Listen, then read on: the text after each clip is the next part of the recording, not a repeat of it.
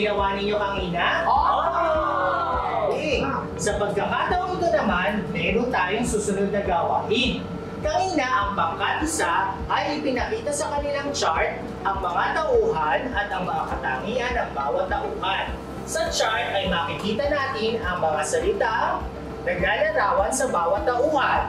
Mabait, sabihin nga natin, Mabait.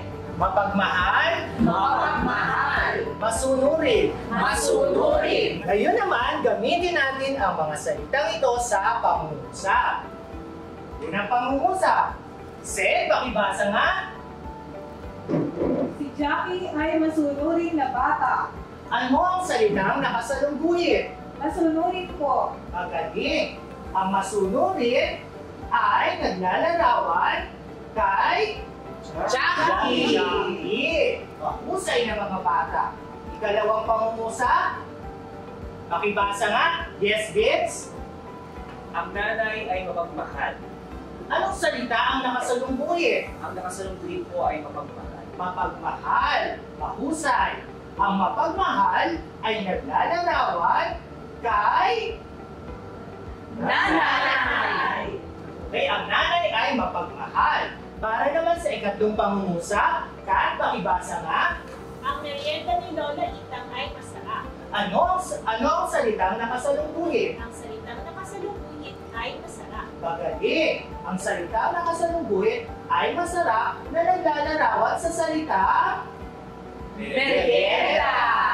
Say ng mga bata.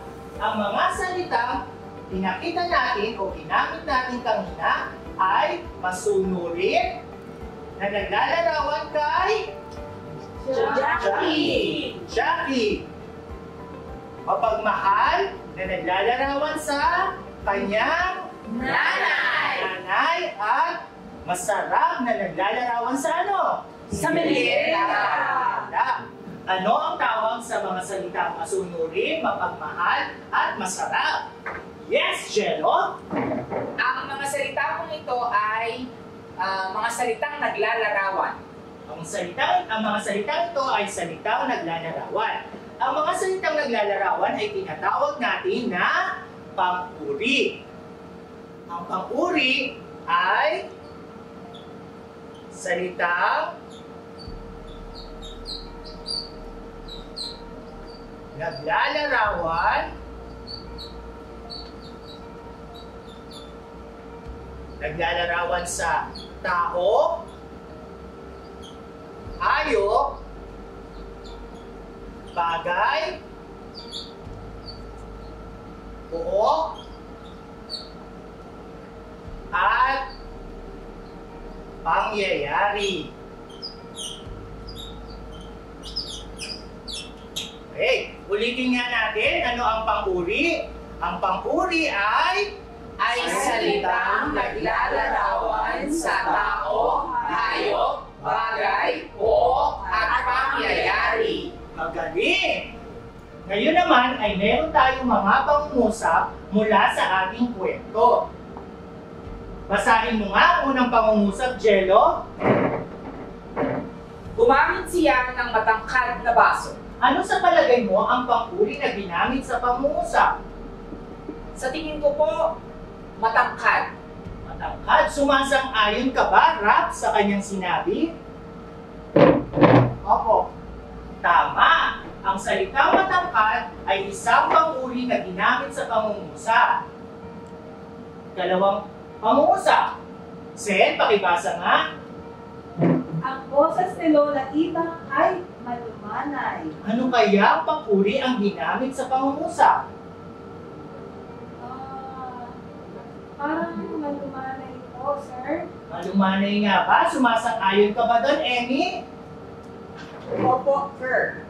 Okay. Manay. Malumanay. Sumasang-ayon si, si Emmy na ang salitang pang-uri na ginamit sa pangungusap ay malumanay. Sumunod na pangungusap, yes ka? Nagmula pa siya sa kanyang pambihirang kusina, Ano kaya ang pang-uri ang ginamit sa pangungusap? pambihira. Pambihira. Sumasang-ayon ka ba doon, Sally? Opo, teacher. May pambihira ang ginamit na panguri. Ano ang tinutukoy na pambihira?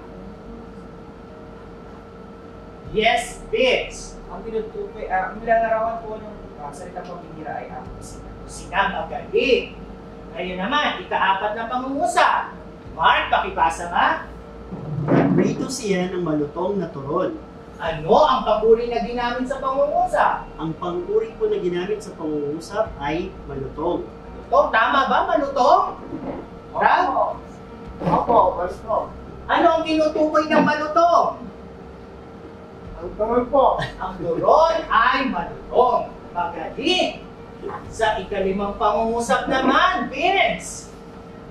Ang langka ay mahalimuyak. Ano ang panguring ginamit dito? Ang panguring ginamit ay mahalimuyak. Mahalimuyak. Ano ang tinutukoy na mahalimuyak? Ang tinutukoy po ay ang langka. Sumasang-ayon ka ba dito, Jello? Opo, ang mahalimuyak ay isang panguri. Ay isang panguri. Tama. May ano, ano ba nga ang may tutulong ng panguri sa pangungusap? Sen? Mas na ilalarawan po ito ang mga salita at lalo ko po ito maintindihan. Magaling, Jello. Ah, parang lalo po akong nakakapag-imagine, sir, dahil sa mga panguri. Okay, salamat ka. Mas nakakapaglarawan po ako ngayon gamit ang aking sense word. Okay, tama ang inyong sinabi. Ngayon naman, maaari ba kayong magbigay ng mga halim iba pang halimbawa ng panguri? Yes, Vince? Maganda. Maganda. Mark, Um, sa akin po, matalino. matalino. Amy, Masaya. masaya. Cello, Mabilis. mabilis ka. Mabango. Mabango. Zen, Mayaman, mayaman. Sali, matangkad, matangkad. Sipag. Masipag talaga naman. Ayan, magaling mga bata. Alam nyo na ang mga pang-uri. Bigyan nga natin ng ating sarili ng isang masigabong halo-halo clap. Okay, isa, dalawa, tatlo. One, two, three. Halo, halo. Magaling, magsinupo na tayo. Mga bata, ngayon naman tayo ay maglalaro. Hahatiin ko kayo sa apat na pangkat at bibigyan ko kayo ng larawan ng mga sakap ng halo-halo at na magsisilbing inyong buzzer. Pangkat, sakap, Okay, bago tayo magsimula ay nais kong lumikha kayo ng tunog no, na pag tinaas nyo yung inyong larawan ay magiging buzzer. Okay? Para sa unang pangkat, pangkat ng Nakuha po namin ang beans. beans. Ano bang tunog natin, Emmy? Beans, beans, beans! Magaling, nakakatuwa. Ikalawang pangkat. Sir, nakuha po namin ay munggo. One, two, three. Go, go, go, munggo! Wow, napakamalikhain naman. okay, ang pangatlong pangkat, ang pangkat ng saging. Kayo po sir, nakuha namin ay saging. Ang aming tunog ay ging ging ging! Magaling! Palakpakan natin. At ang ikaapat na pangkat, Ang nakuha po namin ay. Gulaman. gulaman. Okay, ano ang tunog na sasabihin nyo?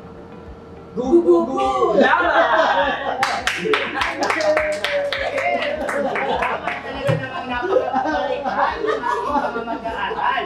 So, ganito ang ating gagawin. Magpapakita ako ng mga pangungusap. At tutukuyin niyo sa pangungusap kung ano ang pangkuri na ginamit. Ang unang grupo na makapagtataas at makapaglilikha ng tunog ang siyang unang magkakaroon ng pagkakataon na sumagot sa tanong. At sa huli, ang mayroong pinakamaraming puntos ang siyang magwawagi. Handa na ba kayo? Para sa unang pangungusap, ay nauna ang beans. Ang mga bata ay masaya. Ano kayang papuri ang ginamit sa pangungusap? Ang pag-uring ginamit sa pangungusap ay masaya. Tingnan nga natin kung tama. Sigurado. Ah! Ang ginamit na salitang papuri ay masaya. Handa na ba kayo para sa ikalawang pangungusap? Opo! Na! Ito ang grupo ng munggo. Ang tubig sa baso ay malamig. Anong papuri ang ginamit? Ang papuring ginamit ay malamig. Tingnan nga natin kung tama ang sagot ni Seth.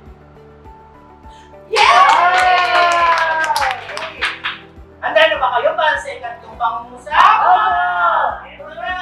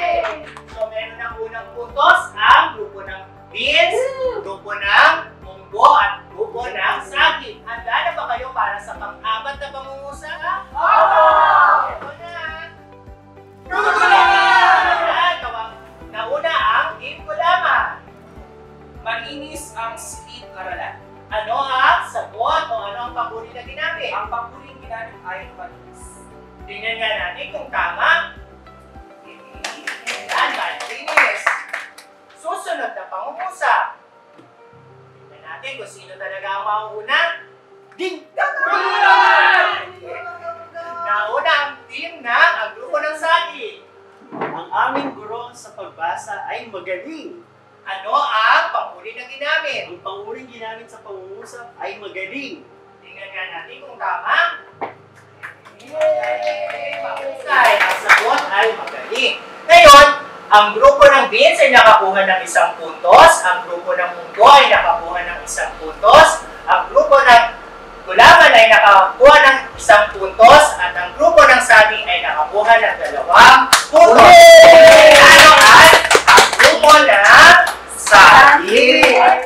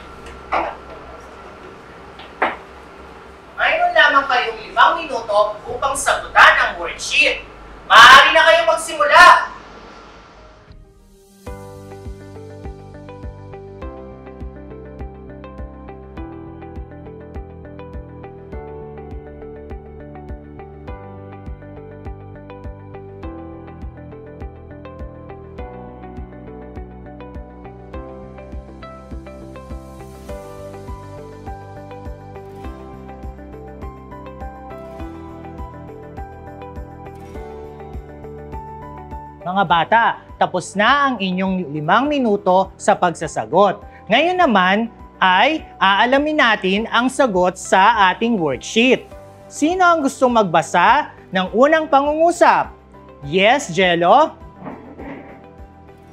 Ang aking alagang pusa ay malambing. Anong salita ang iyong binilugan? Ang naglalarawan ko sa salitang pusa ay malambing. Malambing. Tama. Kaya malambing ang panguri. Tama. Sa pangalawang pangungusap, Yesen? Ang pizza sa lamesa ay malaki. Ano ang salita na iyong binilugan sa pangungusap? Malaki po. Malaki. Ang malaki ay salitang Naglalarawan sa pizza. o pang-uri. Magaling. Tama. Sa pangatlong pangungusap, yes, Mark? Ang itong pangungusap, ang bilis tumakbo ni Anthony. Ang bilis tumakbo ni Anthony. Ano ang binilugan mo sa pangungusap? Bilis. Okay, sino ba ang mahilig tumakbo dito ng mabilis? Si Rapi. Okay, tama. Ang, ang dapat bilugan ay mabilis. Okay, sa pang-apat na pangungusap, yes, Sally. Masipag mag-aral ang aking ate at kuya. Ano ang binilugan mong salita sa pangungusap? Pinilugan ko pong salita ay masipag. Masipag ay isang Isa po siyang na naglalarawan sa pag-aaral ng aking ate at kuya. tama. Para naman sa ikalam, ikalimang pangungusap, Rafi, Ang bahaghari ay makulay. ano ang binilugan mong salita sa pangungusap? Ang kulay po. Makulay. Ano ang makulay? Ang makulay po ay ah, nag-uuri sa bahaghari. Sa bahaghari. Magaling. Sino sa inyo ang nakakuha ng limang puntos? Itaas ang kamay. Magaling na mga bata. Sige, ibaba na. Ngayon naman, sino ang nakakuha sa inyo ng apat na puntos? Ayan, magaling. At sino naman ang nakakuha ng tatlong puntos? Ayan, meron bang nakakuha ng dalawang puntos? Wala na. Kaya naman, talagang magagaling kayong mga bata. Tumayo tayo at bigyan ng ating sarili ng isang halo-halo clap. Handa na ba kayo? Handa na po! Okay, isa, dalawa, tatlo. Halo, halo! Yan, magaling na mga bata.